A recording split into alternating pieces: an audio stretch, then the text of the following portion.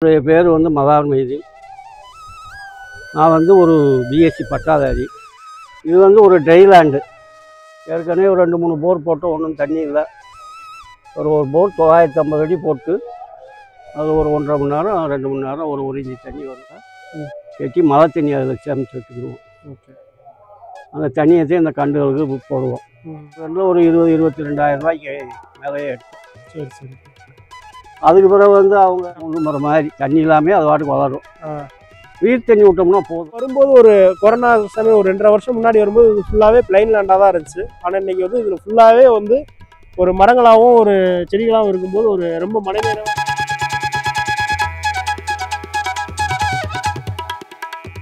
அனைத்து விவசாயிகளுக்கும் ஒரு அன்பான வணக்கங்க. பசுமை பாரத நிறுவனத்தில் வந்து நம்ம நிறுவனத்துடைய ஒவ்வொரு விவசாயிகளையும் சந்திச்சுட்டு வரோம். அதில் இந்த வா இந்த வாரம் வந்து பார்த்தீங்கன்னா நம்மளுடைய மதார் மொய்தீன் சாரை நம்ம பார்க்குறதுக்காக வந்துருக்கிறோம். ஃபர்ஸ்ட் அவங்கள நம்மளை இன்ட்ரடியூஸ் பண்ணிக்க சொல்லிக்கலாம். சார் வணக்கம் சார். உங்களை அறிமுகப்படுத்தியவங்க நம்மளுடைய விவசாயிகளுக்கு உங்களை பற்றி சொல்லுங்கள் சார். நம்மளுடைய ஊர் எந்த ஊர்? எங்கள் ஊர் வந்து பேரையூர். பேரையூருக்கு பக்கத்தில் எங்கள் தோட்டம் வந்து ஒரு ரெண்டு மூணு கிலோமீட்டரில் இருக்கு மெயின் ரோட்டில் என் என்னுடைய பேர் வந்து மதார் மைதீன் நான் வந்து ஒரு பிஎஸ்சி பட்டாதாரி. எங்களுடைய ஃபாதர் வந்து எல்லாருமே விவசாய குடும்பந்தேன் நான் வந்து செவன்ட்டி ஃபோரில் டிகிரியை முடிச்சுட்டு செவன்டி ஃபோரில் ஆமாம் வெரி குட் சார் எங்கள் மாமனார் மில்லில் அக்கௌண்டண்ட்டாக வேலை பார்த்தேன். அதுக்கு பிறகு அவங்களுடைய காலத்துக்கு பின்னாடி வந்து நாங்கள் தனியாக வியாபாரம் பார்த்தோம். மரமில் மரமில் சார் பஞ்சு பஞ்சு மில் ஓகே பஞ்சு மில். அதுக்கு பிறகு அவங்க கொடுத்த எங்கள் மாமனார் கொடுத்த தோட்டம் தான் இந்த தோட்டம்.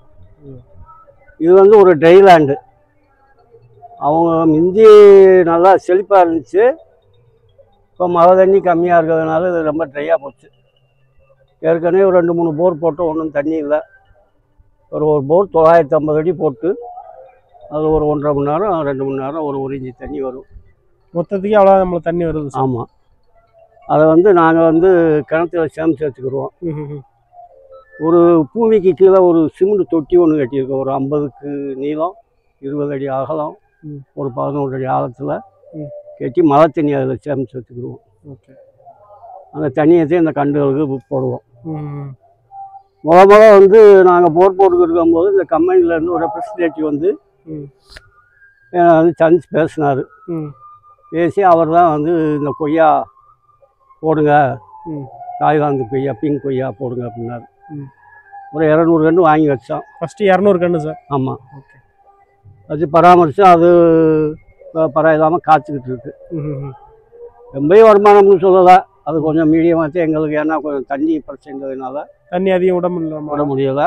ஆனால் போன வருஷம் நல்லா காய்ச்சி மழையில். ஃபஸ்ட் ஈல்டு ஆமாம் ஒரு இரநூறு ரெண்டில் ஒரு இருபது இருபத்தி ரெண்டாயிரம் ரூபாய்க்கு மேலேயே எடுத்தோம். சரி சரி. அதுக்கு பிறகு வந்து அவங்க சார் வந்து ஒரு தடவை எங்களை கன்சிடர் பண்ணாங்க. அதில் இந்த செம்மரங்க வாங்கி வச்சோம். செம்மரம் எவ்வளோ கன்று போட்டிருக்கீங்க சார்? செம்மரம் வந்து மொத்தம் முந்நூறு கன்று வரும். முந்நூறு கன்று. ஆமாம் நம்ம வறட்சி நிலத்துக்கு இந்த செம்மரம் எப்படி வருது சார்? செம்மரம் வந்து அது வந்து நம்ம சீமக்கருவள மரம் மாதிரி வச்சுக்கோங்க. சீமை கருவேல மரம் முள்ளு மரம் மாதிரி தான் முள்ளு மரம் மாதிரி தண்ணி இல்லாமல் அது பாட்டுக்கு வளரும். வீர் தண்ணி விட்டோம்னா போதும். அது எங்கள் மண் நல்லா போகிற நல்லா மண்கண்டமான இருக்கிறதுனால ம். அது நல்லா வருது படம் இல்லாமல் இப்போ தொள்ளாயிரத்தி ஐம்பது அடி போர் போட்ட தண்ணி இல்லாத இடத்துல இந்த செம்மரம் வந்து பார்த்தீங்கன்னா இப்போ நல்லா அருமையாக நல்லா வந்திருக்கு. இருக்கு கிட்டத்தட்ட இப்போ கணக்கு வந்து ஒரு ஒன்றரை வருஷம் ரெண்டு வருஷம் கணக்கு ரெண்டு. வருஷம் ஆகும் ரெண்டு வருஷம் ஆகும். ரெண்டு வருஷம் கணக்கில் வந்து பார்த்தீங்கன்னா முதல் ஒரு வருஷம் நம்மளுக்கு சுத்தமாக வளர்ச்சி இல்லை. ஆமாம் ஆமாம் அது வச்ச வேண்டாத செடி எவ்வளோ ஹைட்டில் நடவு பண்ணீங்க சார்? நடும்போது? நாங்கள் நடும்போது அவ்வளோதே ஒரு உயர்ந்திருக்கும் ஆ, அவ்வளோதே முக்கா- ஒரு ஒரு முக்கால் அடி ஒரு அடி. அடி ஒரு அடிக்கு உள்ளதோ? இப்போ நியரஸ்ட் நம்மளுக்கு வந்து ஆறு அடியில இருந்து பத்து அடி வரைக்கும் இருக்குது. ஒரு நல்லா வளர்ந்த மரம் ஒரு எட்டு அடி அடி வருது. அது இன்னும் கவர் பண்ணி விட்டோம்னா இன்னும் நல்லா மேலே உயரம் போயிடும். அதுக்கு பிறகு இப்போ வந்து இப்போ கொஞ்ச நாளைக்கு முன்னாடி ஒரு ஆறு ஏழு மாதத்துக்கு முன்னாடி. இந்த பாரி ஆரஞ்சு ஒரு நூற்றம்பது வாங்கினோம். வாரி சாத்துக்குடி. சாத்துக்குடி. அது வாங்கி வளர்த்து இப்போ வச்சு ஒரு ஒரு மா பத்து பதினஞ்சு நாள் ஆகுது. சரி சரி சரி. அது கன்று நல்லாட்டே இருக்குது. இப்போ நம்மளுக்கு மொத்தம் எத்தனை ஏக்கர் நிலம் சார்? மொத்தம் ரெண்டு ரெண்டே முக்கால் ஏக்கர். இப்போ ரெண்டே முக்கால் ஏக்கர்ல நீங்க கொய்யா செம்மரம் சாத்துக்குடி வச்சிருக்கிறது ஃபுல்லாவே நம்ம நிறுவனத்துல இருந்து மட்டும் வாங்கினது. வேற வெளியில இருந்து எந்த செடிகளுமே நீங்க வெளியிலேருந்து வாங்கினா இந்த முன்னாடி ஒரு பத்து மாமரம் வச்சுருக்கோம். அது மட்டும் ஆமாம் அதுவே எங்கள் சிறு சிறுலூத்தூர் நர்சரியில் வாங்கினோம் எப்படி இந்த நிறுவனம் நம்ம நிறுவனத்துல இருந்து எல்லா செடியும் தொடர்ந்து நீங்க பண்ணிட்டு இருக்க காரணம் என்ன சார் அதாவது வந்து. நிறையா விஷயங்கள்ல பார்த்தீங்கன்னா சம்சாரியை பூரா ஏமாத்துற ஆளுகளே நிறையா இருக்கு உன்னை வந்து ஆசை ஊறி அவங்கள வந்து இன்வெஸ்ட் பண்ண வச்சுட்டு இடையில அப்படியே அமௌண்ட் விட்டு போயிடுவாங்க. ஆனால் இவங்க வந்து எப்படின்னு கேட்டிங்கன்னா அந்த எப்போ வந்து நம்மளுக்கு கொடுக்குறாங்களோ. கொடுக்கறதுல இருந்து அவங்களுடைய கான்டாக்ட் நம்மளோட இருந்துக்கிட்டே இருக்கு ம். அப்படின்ற போது நம்மளுக்கு ஒரு வேலை பார்க்குறதுக்கோ இல்லை ஒரு ஒரு குறைய சொல்கிறதுக்கோ ஒரு யோசனை கேட்குறதுக்கோ ம். அது வந்து ஒரு நல்ல மன நிறைவாக இருக்கு அதனால அவங்களுடைய டீலிங்ஸ் வந்து நிறையா பிடிச்சிக்குது முத முத என்னைய கன்சல்ட் பண்ண அவங்க ரெப்ரஸன்டேட்டிவ் ஒருத்தர் ம். நாமக்கல்ல இருந்து என்னைய கூப்பிட்டாரு. நாமக்கல்ல? ஆமாம் இந்த மாதிரி நீங்கள் கொய்யா போட்டுருக்கீங்கல்ல. ஒரு பார்ட்டி உங்க கூட ஆ, அப்படின்னு சொல்லி அங்கேருந்து கூப்பிட்டாங்க. அங்கேருந்து கூப்பிடும்போது அவங்க கேட்டாங்க எப்படி என்ன ஏதுன்னு? சொன்னேன். நான் சொன்னதை வச்சு அவங்க வந்து ஆயிரத்தி ஐநூறு ரெண்டு அவங்ககிட்ட வாங்கினாங்களாம். என்ன. அந்த மாதிரி வந்து அது அவங்களுடைய பராமரிப்பு நல்ல ஒரு பரா நிறைவான பராமரிப்பு. அதனால சம்சாரியை வந்து நிறையா பண்ணுறாங்க. இந்த ஊர்லேயே நிறையா செம்மரம் அது இது நிறையா மரங்கள் வாங்கி நிறையா பேர் வச்சுருக்காங்க. நிறுவனத்துடைய சர்வீஸ் வந்து உங்களுக்கு வந்து மன நிறைவான ஒரு சர்வீஸ் ம், ரெண்டாவது என்ன சொல்லி கண்டுவை கொடுக்குறாங்களோ அந்த கொடுக்கக்கூடிய கன்றுடைய வளர்ச்சியில் வந்து அதனுடைய பலன் வந்து பிரதிபலிக்கும். ம், ஒருத்தவங்ககிட்ட வந்து மாங்கன்று வாங்கி வச்சோம்னு சொல்லியாச்சுன்னா இது வந்து ஜமுனா இது இமாம் பசந்துன்னு சொல்லி கொடுப்பாங்க. அது பார்த்தீங்கன்னா கடைசியில் வந்து கல்லாமையாக இருக்கும். அதை நம்ம எப்போ பார்ப்போம்? ஆறு வருஷம் ஏழு வருஷம் கழித்து நம்ம ஈல்டு வரும்போதே பார்க்க முடியும். அப்போ போய் அவங்கள என்ன செய்ய முடியும்? அப்போ வந்து நம்மளுக்கு வந்து சம்சாரிக்கு என்ன குவாலிட்டின்னு சொல்லி கொடுக்காங்களோ அந்த குவாலிட்டி மெயின்டெனன்ஸ் இருக்கும் அது வந்து இவங்ககிட்ட வந்து அந்த இதுக்கு ஒரு மன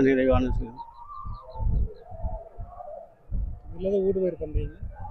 இதை போன வருஷம் துவர போட்டிருந்தோம். செம்மரம் நடவு பண்ணிட்டு உள்ள வந்து மானாவாரி போன வருஷம் போட்டிருந்தோம் மானாவாரியா. தண்ணி எல்லாம் எதுவுமே துவர அப்ராக்சிமேட்டா இப்போ ரெண்டு வருஷம் சொல்றோம் சார் அந்த செம்மரம்.